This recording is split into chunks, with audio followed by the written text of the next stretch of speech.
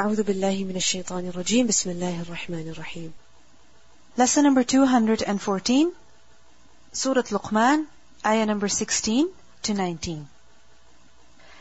Ya bunayya, O my son, innaha, indeed it, intaku, if it was, misqala habbatin min khardalin, if it should be the weight of a mustard seed, fatakun fi sakhra, and it should be within a rock, أو في السماوات or anywhere in the heavens أو في الأرض or anywhere in the earth يأتي بها الله Allah will bring it إن الله لطيف خبير Indeed Allah is subtle and He is acquainted Earlier we learned that Luqman, he was advising his son.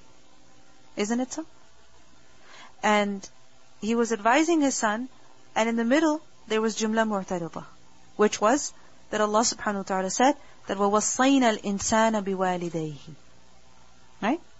That Allah subhanahu wa ta'ala has enjoined upon the human being dutifulness, gratitude towards his parents. And after mentioning that, back to the advice of Luqman to his son. That he said, Ya bunayya, O my dear son.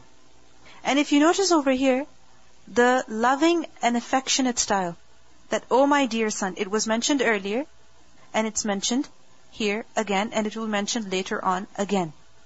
Many times what happens, the first time we say something, we're very, very nice. Isn't it? And then what happens? After some time, what happens to our loving and affectionate manner? It wears out. It doesn't continue. But we see the consistency in the loving style, in the affectionate manner. It's not just at the beginning, it's not just at the middle, it's not just at the end, it's continuous, it's constant. So, Ya Bunayya, he says to him that innaha, indeed it. Indeed what? What does ha refer to? Meaning that deed, or that statement, or that trait, anything, in taku, if it is. Taku is actually takun. If it is misqala habbatin, if it is the weight of a seed even. Which seed? Min khardal, of a mustard. Even if an action be the size of a mustard seed. Even if a quality be a size of a mustard seed. Even if a word be the size of a mustard seed.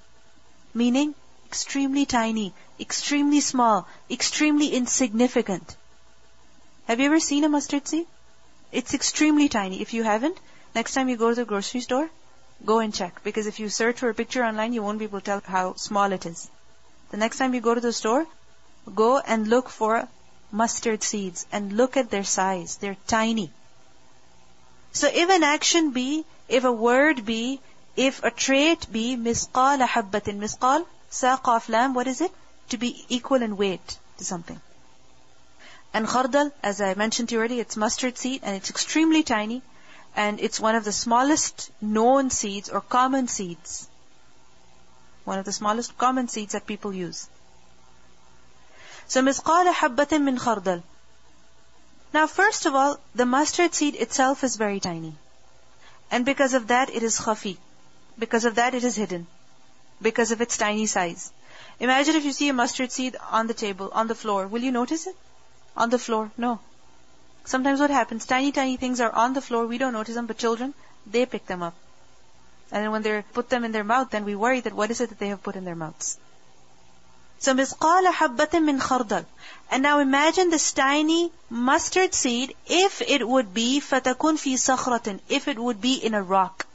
Inside a rock. Just imagine. A rock is not hollow from inside. Isn't it so?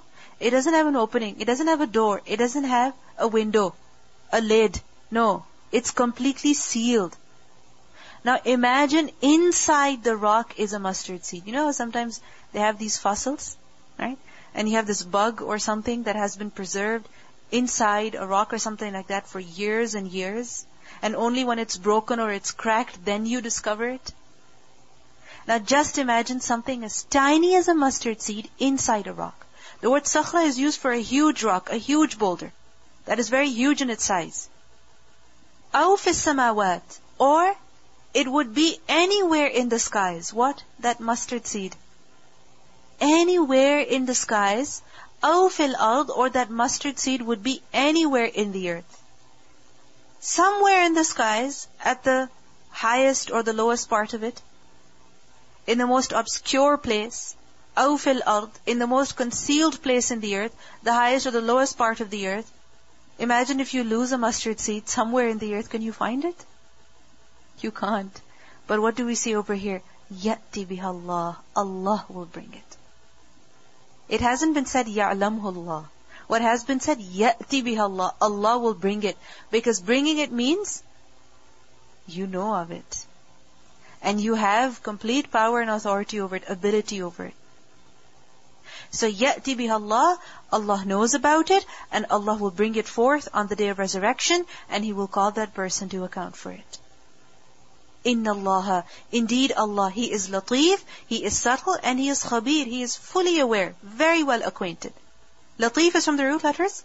Lam, ta, fa. And the name of Allah subhanahu wa ta'ala, latif, has two meanings. First of all, one who is very kind.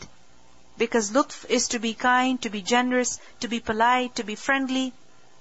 So latif is one who is very kind, very affectionate, very generous. And latif, secondly, also means one who is extremely subtle, one who knows about the fine realities of something as well. Because lutf also is to be very subtle, to realize the minutest details of something, to know the minutest details of something. So he is latif, he knows very well, and at the same time he's also very kind, and he is khabir. He is all aware, he is very well acquainted of its location, nothing at all is hidden from him, nothing too big, nothing too small, nothing at all. What do we see over here? That Luqman, he is explaining the knowledge of Allah to his son with an example. That Allah's knowledge is so vast and it is so complete. And it includes everything. Even the minutest of things, even the most hidden things. Even the things that are hidden inside others and even the things that are up in the skies and down in the earth. Anywhere in the skies, anywhere in the earth. No matter how deeply buried they are or no matter how exposed they are. Allah subhanahu wa ta'ala knows about everything. So he is explaining to his son about the power of Allah, the knowledge of Allah. That nothing at all can be hidden from Allah. And when a person, he says something, no matter how small of a word it may be, whether he whispers it, or he says it in his heart, or he says it out loud, does Allah not know about it? Of course He does. If a person does an action, even if it's extremely insignificant that other people don't even notice it, perhaps it was a glance, perhaps it was a smile, perhaps it was a word that he wrote, Allah subhanahu wa ta'ala knows of it. Any trait, any quality, anything that a person has, any characteristic that a person has, it could be hidden. Other people have no idea. They can never figure out. But Allah subhanahu wa ta'ala knows about it. And if a person, he has this conviction that nothing at all is hidden from Allah, no deed, no word, no characteristic, then what will that lead to? that will lead to sincerity in action. Because a person will know that my Lord knows everything. He knows whatever I do. So a person will not expect praise from people. He will not expect acknowledgement from people. Nor will he waste his deed by showing off. Because many times, what do we want? That whatever we say, whatever we do, we want our deeds to be acknowledged. We want them to be noticed. We want them to be appreciated. And if people don't appreciate our deeds, what happens? We feel very discouraged. We feel we're not going to do it again. But if a person has this yaqeen that no matter what I do, even if no person sees it, Allah knows about it, yati bih Allah, and Allah is latif, He is kind.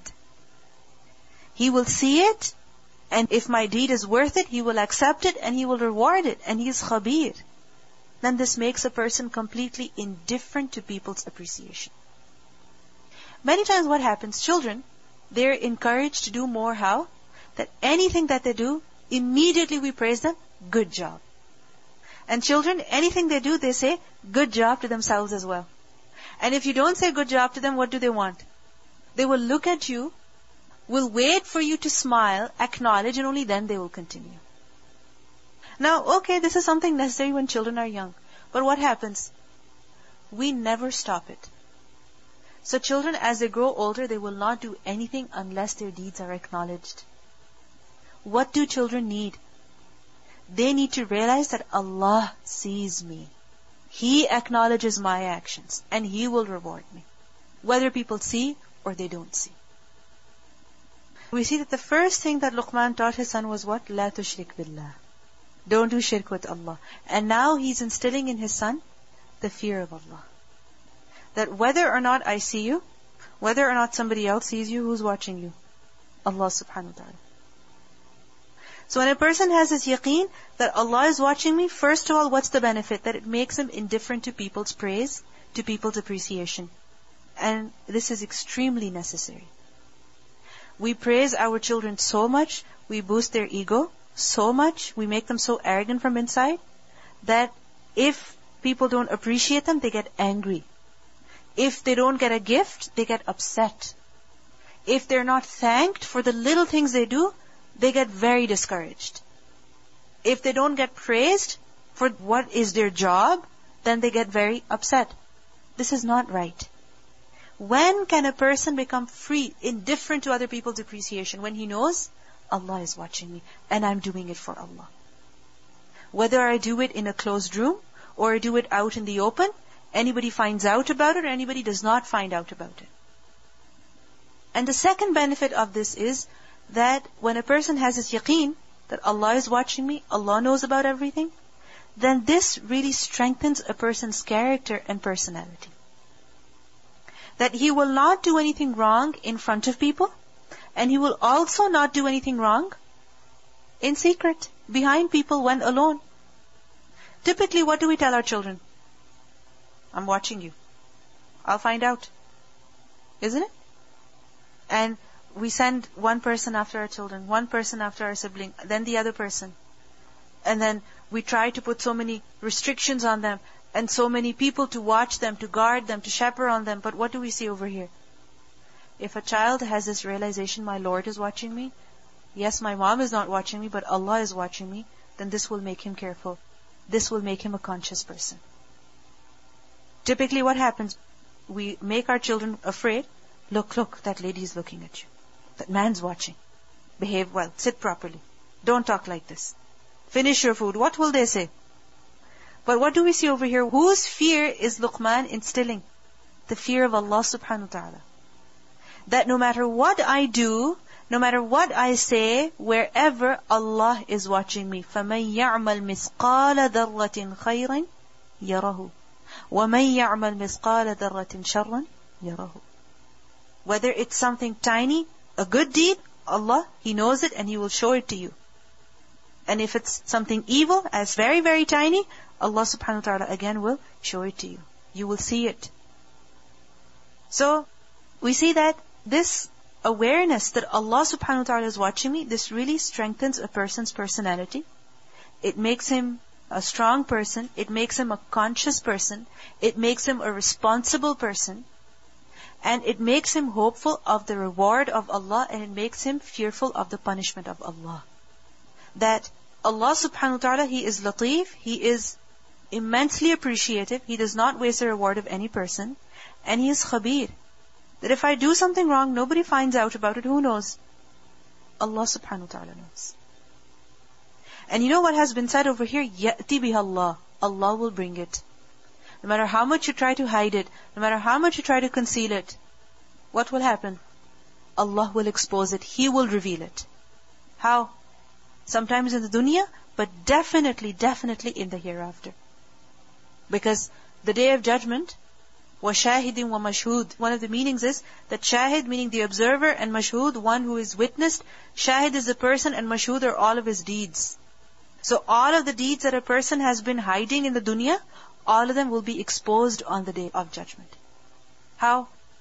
that when the deeds will be weighed, when they'll be put on the scales, and even before that, at the time of Hashr, all those deeds that a person has been hiding, they will be exposed on that day. We learn from a hadith that in Musnad Ahmad that if one of you should perform a deed in a rock with no holes in it, if one of you should perform a deed in a rock with no holes in it, now just imagine you're in, in an elevator. It's completely closed. No camera even. Completely closed from all sides. If you do something there, say something over there, then what will happen? Allah will make that known to the people even. Allah will make that known. You cannot hide it. You cannot conceal it. And many, many times it happens that people try to conceal things, their actions, their words, sometimes for years even, but eventually what happens? Eventually what happens? It gets exposed. Right? Recently I was reading one of the newspapers that this person in Japan, he had killed and raped a British girl and he hid his identity, he cut his lip and he underwent so much plastic surgery so that he could not be identified. But after many, many years, he was caught. He was identified. No matter what people do to hide their deeds, what happens eventually, even in the dunya? They are exposed. The reality is exposed. And if it's not exposed in this dunya, definitely it will be exposed in the hereafter. Because ya'ti bihallah. And this is not something difficult for us to understand today. Ya'ti bihallah. That whether something is hidden deep, or it is up in the skies, or anywhere in the earth, Allah can bring it. It's not difficult for us to understand today. Why? Because with one click, what can you do? You can easily roam around the whole world. You go to Google Earth, and you can go to any street, any road, isn't it? You can go and see so many things. People have put surveillance cameras. So, ya'ti bihallah. So in a way, he's making his son extremely conscious of who? Allah subhanahu wa ta'ala. That you are under surveillance. You are under surveillance. And when a person knows that he's under surveillance, how conscious he becomes. Isn't it? Immediately people, you know, their expression changes. The way they sit, the way they stand, the way they walk, it changes. Sometimes people are driving and all of a sudden if a cop car goes by, what perfect drivers they become. Everybody has their seatbelts on. Everybody sitting properly. And unfortunately our children, who do we frighten them from? Sit in your place and put your belt on, otherwise the cop will come. Isn't it? This is what we scare them off. This is who we scare them off. But they need to realize that no matter where I am, whether at home or out, Allah is watching me. And I'm supposed to do right because Allah is watching me. I'm supposed to stay away from wrong because Allah is watching me. And this leads to ihsan. Isn't it so? Because what is ihsan? أن تعبد الله كأنك تراه. Ihsan cannot come unless and until with this realization. Because this is what makes a person behave properly. Isn't it so? Otherwise, he will follow his nafs, disregard other people completely, disregard the obligations, the prohibitions, and just follow his nafs. What brings ihsan? The realization that Allah is watching me. This is why we see that Luqman is known as Luqman Hakim. That look at the way he's advising his son in such a non-threatening way, in such a neutral way. He's not instilling the fear of Allah by telling him, if you do wrong, Allah will throw you in hellfire. What is he telling him? That no matter what it is, in the rock, somewhere in the earth, somewhere in the sky, Allah knows and He will bring it forth. He's not saying, Allah is watching you, and if I can't see you, He will punish you. Nothing like that. He's not threatening him. Isn't it so? It's a very non-threatening style. And this is when we see that advice becomes effective. And if we keep threatening children, this will happen, that will happen, you'll get punished, you'll get thrown in the fire, then eventually what happens? They get so used to that threat that it doesn't affect them anymore. It doesn't affect them at all. Ya bunayya, O my son, aqim salata, establish the prayer, establish the salah, wa'mur bil ma'roof, and enjoin what is right, wanha anil munkar, and forbid what is wrong. And then, wasbir ala ma asabak, and be patient over whatever befalls you. And remember that inna dhalika min azmil umur, indeed all that is of the matters requiring determination. More advice, more instruction, more vows. That ya bunayya, oh my dear son. Again you see, loving style. He doesn't become a bit strict or harsh over here. Loving style. Because once children know that my parents love me, then what will happen? What will happen? It will develop trust. And then children will listen to their parents. We keep telling our children, when they do something wrong, you're so bad, you're so bad. And what will happen eventually? Children will think they are bad, and they show it. I remember this mother, she was once telling me that I always tell my children, you're so good, you can't do this. You're a good boy, you're a good girl. And then children really feel like that. That yes, I'm a good person, this is not something that I do. Right? So, Ya bunayya, oh my dear son, aqim salata, establish the salah. Pray salah. Tawheed, fear of Allah, and then after that, iqamat salah, worship. And notice how he tells him to establish the salah. The hukum, the command, is being given in singular form. It's very direct. Because sometimes what happens, we give very general instructions. It's not people should pray. What has been said? You should pray. Because sometimes we're very general in what we tell our children. You know, people should be doing this and people should be doing that and people should not do that. But how is he telling his children? You should pray. You should pray. You're supposed to pray. This is an obligation on you. So this is how we need to address the important topics. That address them directly. Don't generalize them. Don't say, we Muslims are supposed to do this. What should you say to him? What should you say to her? To children who are yours and children under your care. You should be doing this. This is what you're required to do. So, Ya Bunayya, aqim as-salata. And when can a person tell his or her child to pray salah? When they pray themselves. If you notice over here, the father is telling the son to do iqamatus salah. And for men, what is iqamatus salah? To pray where? In the masjid. When can a father tell his son to go pray in the masjid? Or pray in congregation? At least if not in the masjid. How? When? When he prays like that himself. So, Ya aqim salata wa'mur bil ma'rufi and command that which is good. Pray salah to strengthen yourself, to do your own tarbiyah. And then command that which is good to others, to reform others, to help them become righteous as well. Wanha anil munkar and also forbid from that which is wrong. If you notice over here, at first the rights of Allah subhanahu wa ta'ala are mentioned. And of the rights of Allah, which is the most important one? Iqamatul salah. And then don't just worry about yourself. Also be concerned about others. Tell them to do good as well. And if they do something wrong, stop them as well. Be responsible. Be alert. Be conscious. Don't be self-centered. Don't just be concerned about yourself, but also be concerned about who? Other people who are around you. Because a person cannot become righteous, he cannot become steadfast on righteousness unless and until what? Others around him are also doing the same. So, pray yourself and also wa'mur bil ma'roof. Also tell other people to do good. Tell other people to pray salah as well. And if other people are doing something wrong, don't turn a blind eye to it. Stop them. And you will find difficulties in doing this. Therefore, wasbir ala ma asabak. Be patient over the difficulty that reaches you. And inna dhalika min azm al-umur. This is of those matters for which determination is required. What is? Dhalika refers to all that has been mentioned over here. Iqamat salah amr bil ma'roof, nahi al-munkar, sabr. This is of those deeds min azm al-umur. What does azm mean? Determination. When a person has made up their mind to do something, that no matter what happens now, I have to do it. You know, like for example, when you're praying salah, you say Allahu Akbar. Your phone is ringing. Do you break your salah and go respond to the phone? Do you? No. Why? You've made up your mind, you have to pray, you have to pray. All of a sudden you feel like eating, will you go eat? No. You feel like sitting down, you feel like lying down, will you do that? No.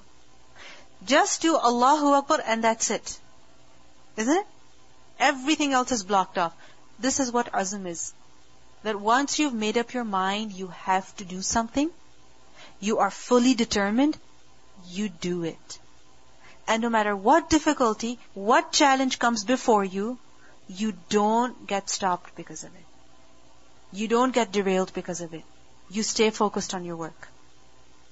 This is why it has been said that فَإِذَا عَزَمْتَ فَتَوَكَّلْ عَلَى اللَّهِ That once you have made up your mind, then what should you do? Rely upon Allah subhanahu wa ta'ala. So, and al-umur is a plural of amr. Azm al-umur means those matters, those necessary things regarding one must have firm determination. If a person does not have determination, he will not be able to do any of these things. If a person does not have firm resolve, he will not be able to pray consistently. He will not be able to tell other people to do good. He will not be able to stop them from wrong. And he will not be able to do sabr. You understand? To do all of these four things, what do you need? Determination. And without determination, you'll end up nowhere. Now we see over here that in the advice that is mentioned in this ayah, that Luqman he is awakening his son's consciousness. Right? He's making him an alert person. He's encouraging him to live a conscious life, an alert life. And what does he start that with? The command to pray. Because a person who prays, his heart is alive. Isn't it so? أقم الصلاة لذكري. He remembers Allah subhanahu wa ta'ala. When a person will remember Allah, he will be a conscious person. He will be conscious about his surroundings. And such a person, what will he do? He will command that which is right and forbid that which is evil. Because inna salata tanha anil fahsha'i wal munkar. It's not possible that a person who prays salah consistently finds other people not praying and he doesn't care about them. Finds that people are doing something wrong and he does not care. No. A person who will pray, definitely his heart will become conscious and alive. He will never become indifferent to people. Never at all. And when a person will do amr bil ma'ruf, nahi al munkar, what will that lead to? Difficulties. Right? But that difficulty will not make him give up. He will have to have sabr, which is why sabr is mentioned. What do we learn? وَاسْتَعِينُوا بِالصَّبْرِ وَالصَّلَاةِ this is why iqamatul salah is so necessary. If you don't pray, you cannot tell other people to do good. You know that? You can't. And you cannot stop them from doing wrong. Because what will give you the confidence to have sabr, the ability to have sabr? Salah. وَاسْتَعِينُوا بِالصَّبْرِ وَالصَّلَاةِ And whatever challenges that a person does face, in telling other people, they will not make him lose his determination either. Why? ولا يستخفنك الذين لا يوقنون إن ذلك من عزم الأمور That is of those matters for which you need determination. Other people should not make you so weak and light that they say one thing to you and that's it, you lose all your confidence. But on the other hand, a person who does not pray, whose heart is not alive, whose heart is heedless, then this person is heedless about himself and he's also heedless about others. You understand? The life of the heart begins with what? Iqamat salah. Many times what happens? That if a person asks, does this person pray? What will they say? Oh, you're being so strict. How is it possible you find no person who prays five times a day? No, it is possible to find people five times a day. This is one of the basic things, basic requirements. Because a person who prays salah and a person who does not pray salah, they're completely different. One who prays is conscious about his actions, about his words, about other people, about the deen. And one who does not pray, he doesn't care. He doesn't care. They're completely two different people. And this is something extremely important that a person is concerned about his well-being and also the well-being of others. Because you might say, you should only focus about yourself. Why are you worried about others? Whether they pray or not, whether they do good or they do bad, why are you worried about them? This is something very important. Why? If you keep yourself clean and your surroundings are dirty, will you not get dirty? Will you not? Of course. Like for example, if you go to shower in a washroom that's extremely filthy, extremely filthy, will you want to shower there? No. You'll get worried that by the time I finish showering, I'll perhaps be more dirty. Isn't it so? So, you clean yourself and you also have to clean your surroundings. This is why أقم الصلاة وأمر بالمعروف وانهى عن المنكر. And many times what happens? We tell our children, do good, be good, pray. but what happens? If their friends are not like that, will they be able to pray? Will they be able to do good? Impossible. So, children need to have this realization that I need to do good myself and I need to tell other people to also do good. And only a confident child can do this. Isn't it?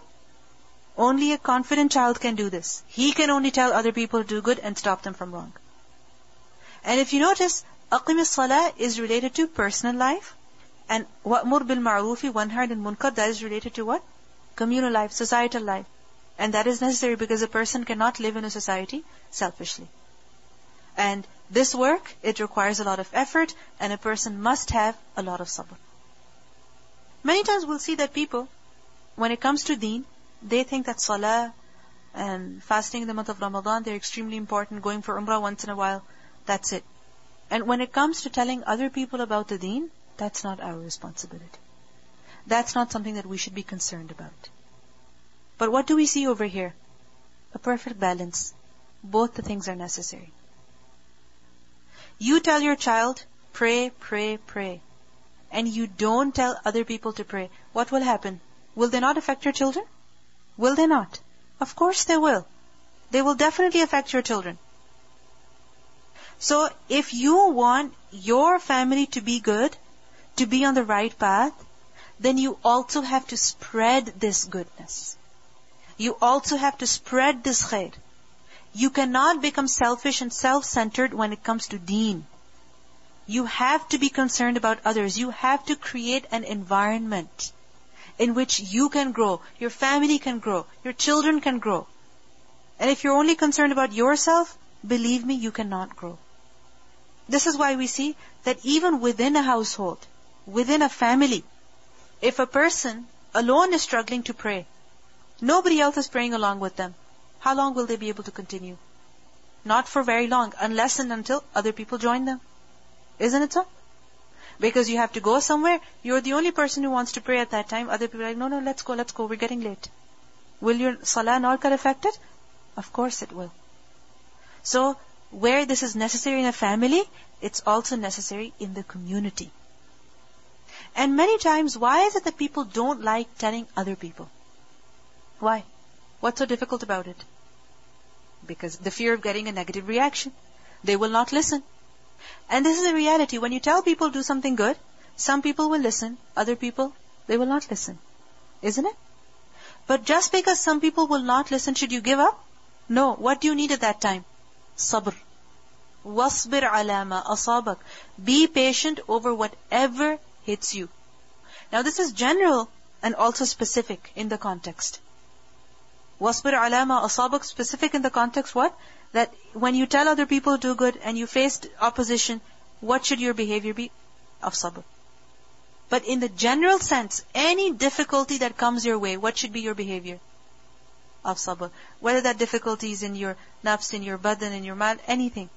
That you are hurt, you are tired, you are exhausted, you have a lot of work, somebody's been harsh to you. What should you do that time? Sabr. And inna dhalika min azm al-umur. It is of those matters which require a lot of determination. That only those people can do this work who have a strong willpower.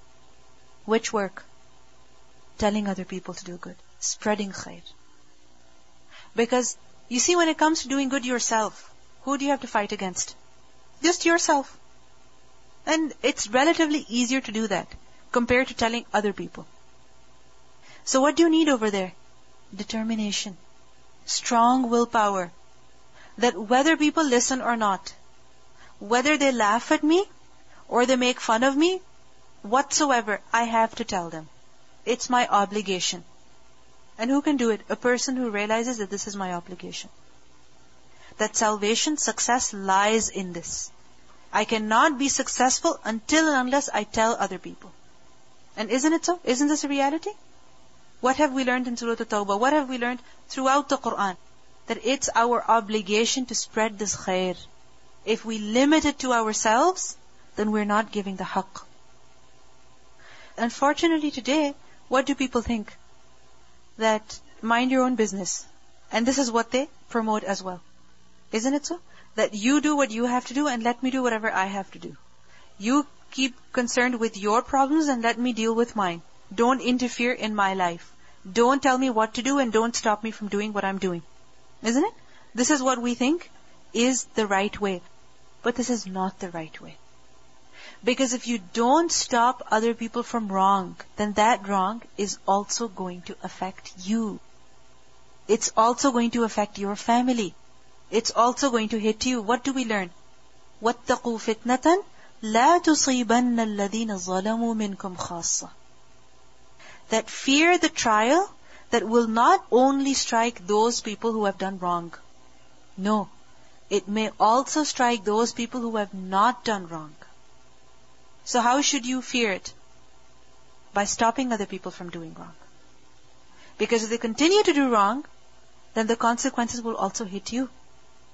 But we fear sarcastic remarks, we fear mockery and harsh words, but this fear should not get in the way.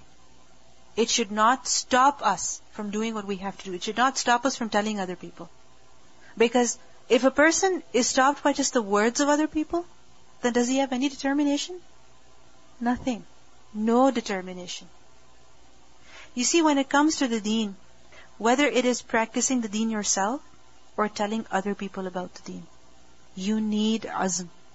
You need determination. Because sometimes your body will not cooperate. Sometimes your family will not cooperate. And sometimes the world around you will not cooperate. But doesn't mean you stop. No. Whatever is important is important. Like, for example, I'm amazed at how people who go to work, who take their work seriously, what happens to them? Even if they're sick and exhausted, and there's a snowstorm outside, what will they do? They will still go to work. Whether it means not going to their child's doctor's appointment, many times fathers, they never go to their children's doctor's appointments. Why? They're at work. The mother is taking the child every time. Isn't it so? Sometimes the woman herself, she's expecting and she's going to the appointments herself. The husband, he cannot come. Why? He's busy at work. What do you need at that time? Determination. What gives you determination? When you realize your work is important, it is necessary. So when you realize that Amr bil Ma'ruf, Nahi al Munkar is necessary, then no matter what you will do, it will give you the determination. It will give you the confidence. If you think about it, the work that people do for dunya, why will they go even if they're sick, even if there's a terrible snowstorm? Because you need to survive in this dunya. Isn't it? What about surviving in the akhirah? What about surviving in the akhirah? Isn't that something that we should be concerned about? Of course. So what do we see over here? That salah, amr bil maruf, nahi al munkar, Sabr over difficulty, who can do it? A person who has firm determination. Everybody cannot do it. Only those people who have determination. So it's as though he's telling his son that you have to have determination. And if I'm telling you to do this, I know that you can be determined. I know that you can have azm al-umur. And this is just like mountain climbing. Can everybody do it? Mountain climbing. Can everybody do it? No. What do you need to do that? Determination. Just the other day, somebody was telling me about how one of their relatives is um, deportation officer. So any illegal immigrants or someone, they're responsible for finding them and take them out of the country and travel with them and you know leave them. And the kind of work that they do, it involves a lot of risk, a lot of risk. And their family is concerned that why are you doing this? Just leave this work, do something else. But he's like, no, I love this work. It's so challenging. It's so challenging. This is why I love to do this work. And I was thinking at that point that anything that you like, no matter how challenging it is, no matter how difficult it is, you will do it. Anything that you find is important, you will do it. Just like mountain climbing, right? If you want to do it, no matter how difficult it is, no matter how risky it is, you could slip and that's it, your backbone could break. You could lose your life. But what is it that gives people the strength to do it? Determination. Isn't it? Confidence. The end result. So similarly, if a person wants high darajat in the hereafter, high ranks in the hereafter, just like a person wants to get to the top of the mountain, what does he need to do? Effort. What does he need? Determination. And he needs to keep going. You might wonder, what's the point of climbing the mountain? Can you not see the same view in a picture? Of course you can. Just go in a helicopter and see. But it's different. It's a different experience. What you can see from the top of the mountain, that view you cannot get from anywhere else. And you cannot enjoy that view either, unless and until you've climbed the mountain yourself. So determination is required to get to Jannah. Inna dhalika min azmil umur. Okay, we'll listen to the recitation.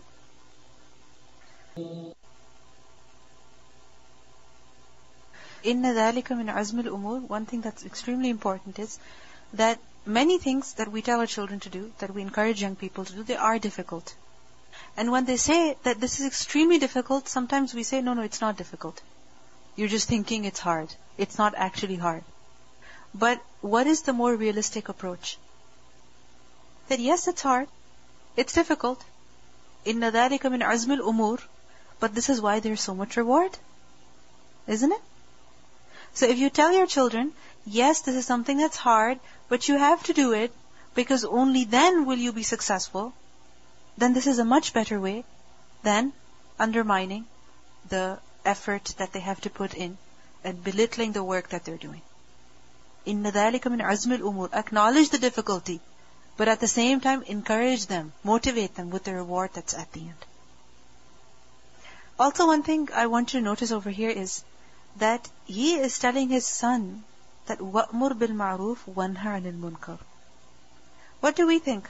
Whose responsibility is it to do amr bil ma'ruf wa nahi anil munkar? Who's supposed to do it? Typically, what do we think? Adults. Isn't it? That young children, they have nothing to do with this. It's the scholars who do it.